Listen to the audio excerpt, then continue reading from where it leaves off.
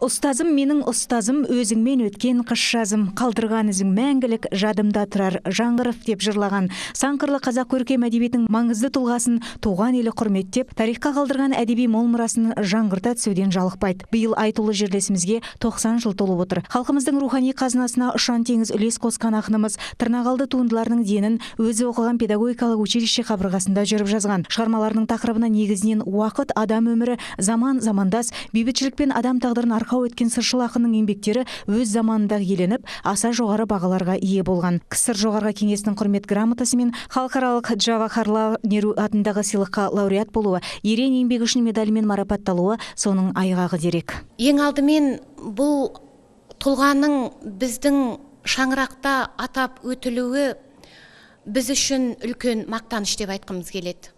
Себебі осы оқу орнынан үлкен үлкен ғұлама адамдар өмірге қанаттанды. Осы табалдырықтан өмірге қадам басты. Солардың ішінде біз ерекше мақтан ететін аманжол шанкенов бар. Иә ақынның алғаш білім алған бұл ордасы даңқты жерлесімен ерекше мақтанады. Дәл бүгін колледж ұжымы студенттермен бірге аманжол шанкеновті еске алу шарасын ақынның мемориалды тақта тұсына гүл шоқтарын қоюмен бастады. Митингіге ақынның балалары мен туыстары замандас жерлестері қатысып аманжол шанкеновтың шығарма шығармашылығы мен жеке адами қасиеттеріне ерекше тоқталып өтті. Ертісте ерке толқыған ойы сұр тұнып мөлдіреп аққан бұлақтай таза тұп тұнық замана үні ой толғам деген кітабың дүниенің сырын ұрпаққа тұрғой ұқтырып рухани жырға сусаған елді қандырып қаншама кітап аманат еттің қалдырып ұстазым менің ұстазым деген жырыңмен жадында жүрсің ұрпақтың мәңгі жаңғырып Что же больше всего в памяти осталось у нас, скажем?